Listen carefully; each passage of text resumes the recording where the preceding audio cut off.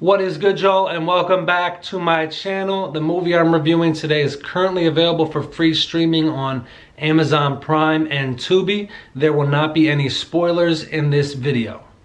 Pieces of April is written and directed by Peter Hedges and stars Katie Holmes, Derek Luke, and Patricia Clarkson. It takes place and was filmed in the early 2000s and is taking place in two different places in New York City and a road trip for, for a family to New York. Now, in New York, uh, April, the outcast of her family, the person who's always been unreliable, that you can't trust, left home early, all that, got into drugs, tattoos, piercing. Family doesn't trust that she can do anything right. She's chose to make Thanksgiving dinner for her family, and she's done this for a very noble cause. This could be her last uh, family Thanksgiving together with her family because her mother is sick. Now, of course, she runs into all types of obstacles in trying to make Thanksgiving dinner perfect for her family. Now, on their way to her is her family. Now, they're probably coming from, like I would say, upstate New York, uh, New England area. It's about a four, I guesstimate about a four or five hour drive. Now, on this car ride, we learn about all the family, all the, all the characters in the car not only about them, but how they feel about April and how they think this Thanksgiving is gonna go. So dad is more laid back than any other character. His wife's going through an illness, so he's trying to be supportive of her. But you can tell he loves his daughter and he's very hopeful that everything is going to work out. He's the most optimistic of everyone in the car. The brother is just kind of laid back and just kind of enjoying the ride, enjoying the moment as a young teenage kid would. April's sister is a goody two-shoes, and you could tell her and April clashed as kids. She was the type of girl that probably snitched on April a lot anytime she did anything bad to get her in trouble. She's that type of character. Grandmom's in the car. She's slipping into senility, which is kind of funny and how that plays off with the other characters. And mom, who is played by Patricia Clarkson, who does a fantastic job in this movie, is very cynical she's slightly, she has a 1% chance of hope because she's just trying to enjoy every moment of her life, trying to carry and hold on to memories.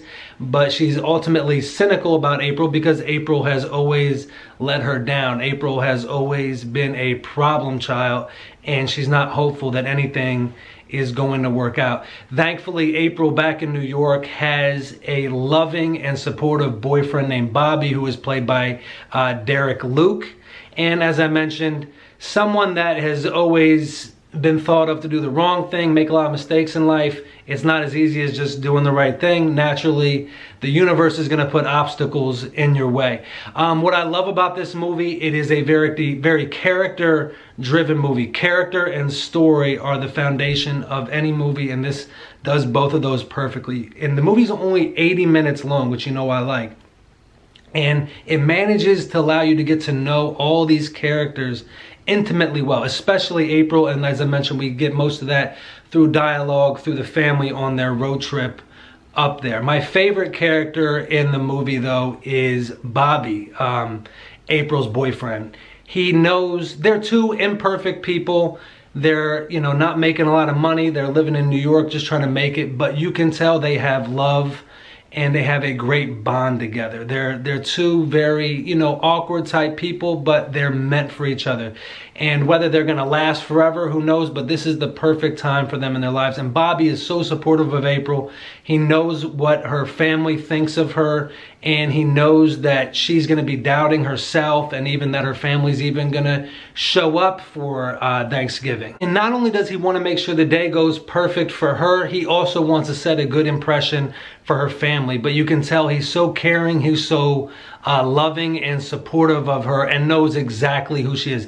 They're, they're a young couple in their early 20s and they're attracted to each other. They got good chemistry, good compatibility, good communication, um, all the things you need for a uh, good relationship.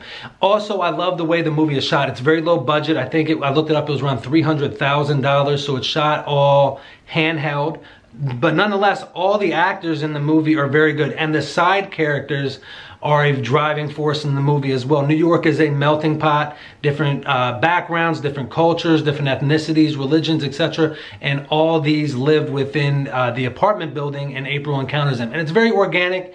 It's not forced. It makes sense in New York that you would have a good mixture of characters uh, like this. And it, like I said, it's shot in handheld, so it's a low budget film. It's shot very indie, independent style, but all good acting. And the fact that you have established actors in this movie proves that it's a great script and a great screenplay. Anytime you see big name actors in a low budget movie, it says something about the film itself. You have Patricia Clarkson and Oliver Platt who play the mom and dad, and they're very seasoned, been around the block actors. Katie Holmes and Derek Luke were on the come up at the time.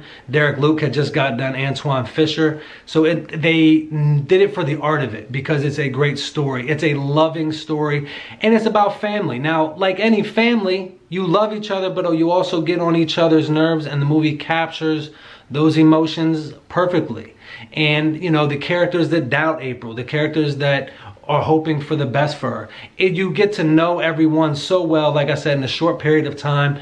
And you also get like a nice little touch of New York in there. For a low budget movie where they probably couldn't afford to shoot around New York, it does a great job. The music is very simple. It feels like it was... Uh, done on a ukulele, very simple, basic mu music, but the song One April Day that bookends the movie um, is absolutely perfect. I, I love it. I can relate to so many of the different characters in this movie. I'm the laid back brother in the back of the car, just happy to be along for the ride.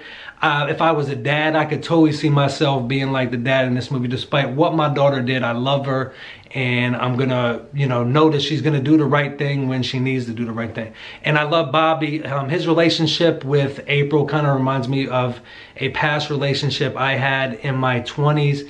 Just two people that are a little bit out there, but we kind of we get each other, and that's the main thing. And he, his love and support for her is, to me, the driving force of the movie. And the movie has such a loving and sweet ending. I, it's just I don't want to ruin it, but it's it's a perfect ending. I'll just say that. Every, you know, and like any good movie, you're rooting for the protagonist, despite the fact that they're flawed. This is a perfect little movie to watch on Thanksgiving. I absolutely recommend it. I'm someone on Thanksgiving. I of course watch football and I watch The Godfather, but I discovered this movie a couple years ago, and I always like to watch it on or around Thanksgiving.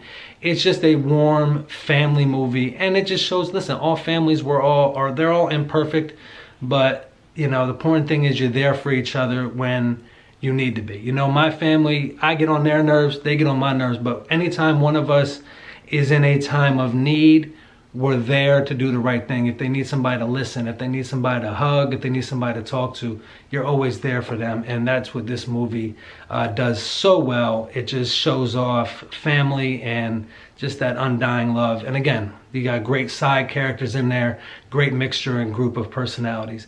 Please check out the movie if you haven't seen it. If you have, let me know uh, what you thought of it. Guys, thank you so much for joining me today. I greatly appreciate your time. Y'all take care, be well, and have a great rest of your day.